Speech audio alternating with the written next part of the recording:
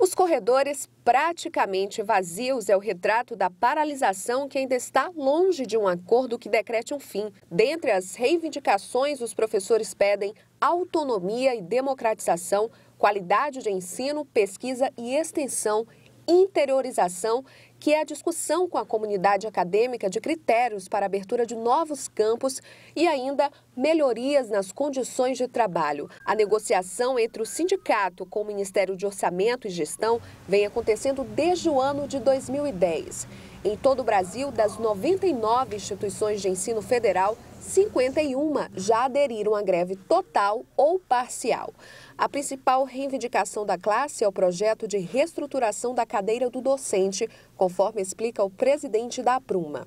Ela ainda não atende todo né, a situação que a gente vive de sobrecarga de trabalho, né? os professores têm que, uh, têm que ter atividade de orientação, de ensino, administrativa, participar de colegiados, publicar, participar de congressos, né, sobrecarga de trabalho.